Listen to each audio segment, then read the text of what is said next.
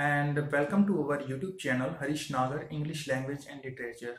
And guys, this is the only channel where we explore the lives and works of influential literary figures throughout history, guys. So today we are diving into the fascinating world of the 18th century English poet and name of that poet is Alexander Pope. So let's get started, guys. First of all, we talk about his life. Guys, Alexander Pope often regarded as one of the greatest poet in the English language. And remember, he was born on May 21, 1688 in London, England.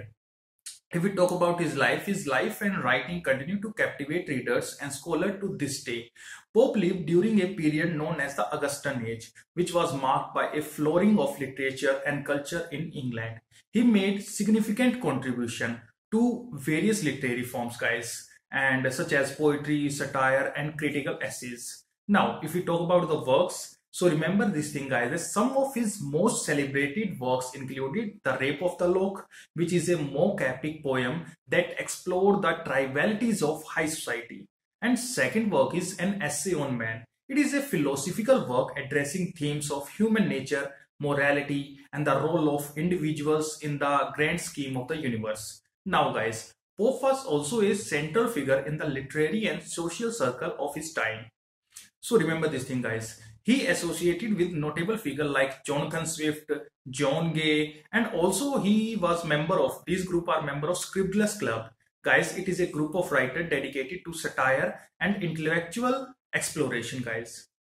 Next thing, Pope life was not without challenges. He faced health issues from a young age, including the tuberculosis that stunted his growth and led to a hunchback. Despite these obstacles, he became one of the most prolific writer of his era, guys. Now, Pope's lasting legacy, if we talk about this, then remember Alexander Pope impact on English literature is measureless. His wit, satire, and eloquent verse have continued to inspire generations of poets and readers. Now, if we talk about some important points, so remember this thing guys, that Alexander Pope was also a member of neoclassical group.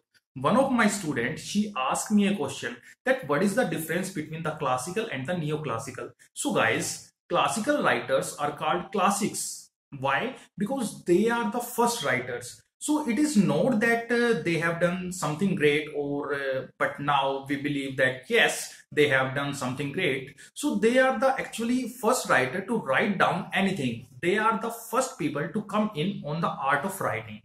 They are the first people guys to develop rules and regulation. This is the main point. They were the people those who said that you should have excessive emotion purity of emotion. Main thing the purity the purity of emotion guys they were the first who said that you should have greatness of emotions, purity of expression, and amazing thoughts. And then you should talk about something universal. That means, guys, your thoughts should be universal. So these writers supported authenticity, truth in every part of artistic life. Remember, they became the classical writer they said one should respect the rule of regulation, one should not use lampoon, satires, parodies, one should be very grave in his art of writing or in his art of expression you can say. So they are called classical writer. They maintain rules, regulation, the culture of restoration. Now, if you talk about the, if you remember the Restoration age, as you know that Charles II was in France and when he returned from France, he brought a lot of bad tendencies all of a sudden after Shakespeare. Then in Restoration literature become very vulgar. You remember this thing, you know everybody all. They started talking about seductions, love triangles, chasing women, dirty things and double meaning jokes guys, you know understand. And lot of obscenity is visible in Restoration guy so these writer, after the restoration, these writer guys, they decided to revive the content of literature. They thought that we should imitate classics to reform the literature. And in the process of imitating the classical writer, they forget the important idea guys, which was called truth and authenticity. So they tried to imitate classical spirit, but they forget that they are simply following the pattern of writing. So Alexander Pope, or we can say the other uh, writers of neoclassical, they were simply concerned with writing style, rhyming pattern, but they forget that the main thing, the content should be very great. So these are the reason guys that these writers are called pseudo classics because uh, guys they were simply imitating styles but they were not feeling that. Let's uh, take an example. okay if we talk about homer and virgil uh, they were the great people also, but Alexander Pope is not a great man. He would criticize anybody.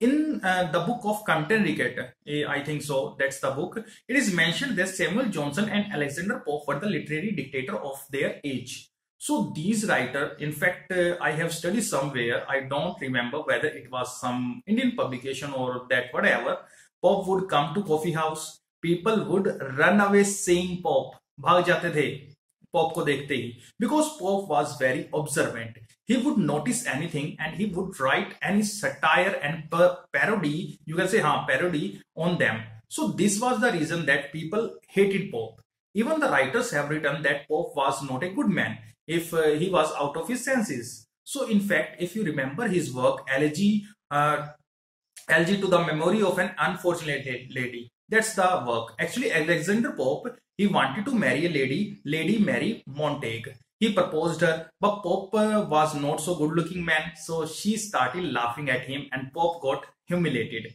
Next morning, guys, what he do? He wrote a satire on her and throughout his life, he kept on writing satire on that lady. So this kind of person was the Alexander Pope. Now, guys, now let's talk about the neoclassical content of Alexander Pope. Pope has written essay on criticism. He talks about how to be a writer, how to be a poet, how to be a critic. So when he says that guys, how to be a writer, how to be a poet and how to be a critic, he simply gives us five rules. Remember these five rules guys. He says that a critic or a poet or a writer should be a writer or you can say a poet or a critic by birth, then he should be a writer. A poet or a critic by nature, then by patience, by study, by emotion. So he says that these are the five uh, points by birth, by study, by patience, by emotions, by nature. He should be a critic. He should work hard, he should read classic and then only he can be a critic. So why Pope's criticism is not famous? Remember this thing guys, because the lady who was criticized and satirized by the Pope, she herself said this line, nothing is original, all are stolen. This is the quotation by Lady Mary Montagu. Remember guys, she says that Pope's criticism is totally stolen. Yes, it is the absolutely true. Pope's criticism is simply a better argument based on Horatian concept. Remember guys, Pope was inspired by Horace as well. But Pope has the power of pen and he explained the same thing in a very nice way. So, in fact, he is my favorite also guys Pope says that you should follow classical writer, you should imitate them blindly. If you want to achieve the high standard of uh, writing, then you should imitate them blindly. And uh, here guys, he says that be Homer, works your study and delight. Read them by day and meditate by night. So he says that if you want to be a great writer, let be Homer's work. You study and delight. That means Homer stands for all the classical works. He says Homer should be the part of our studies and enlightenment. You should uh, read it. If you study, understand it, you should enjoy it.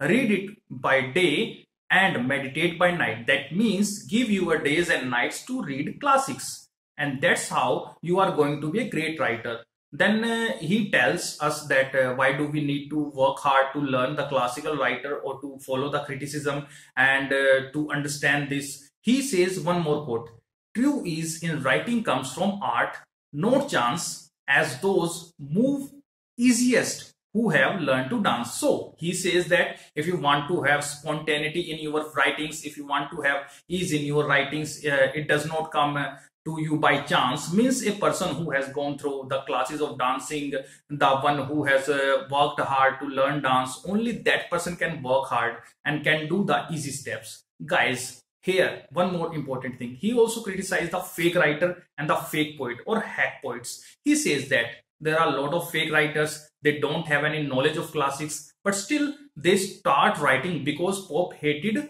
competition. Remember this thing, guys. And he would uh, call them the pseudo writers. So Pope says that these people, they don't have true wit in nature.